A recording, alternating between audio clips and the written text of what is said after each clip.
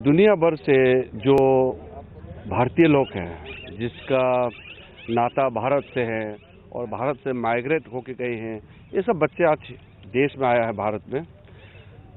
विदेश मंत्रालय ने know India, know your India कार्यक्रम में इतने बच्चों को लेकर आया और सबको मिलकर के मुझे एक चीज़ का ये ख्याल आता है कि ये कभी भूले नहीं है भारत को।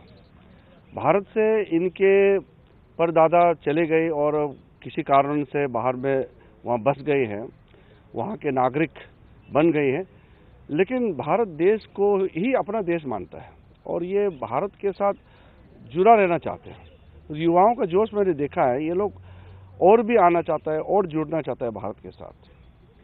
ये बहुत अच्छा कार्यक्रम है और दुनिया में आज भारत जो है सबसे, दूसरी सबसे बड़ी डायस्पोरा है।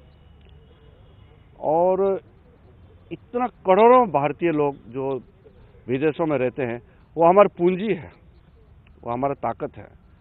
और उनके माध्यम से हम और लोगों तक तो पहुँचते हैं। ये हमारा एम्बेसडर है हमारा प्रतिनिधि है ये लोग अनऑफिशियली और cultural link spiritual link social हर तरीके से, अब तो ये आर्थिक दृष्टि से भी ये हमारे साथ में लिंक है।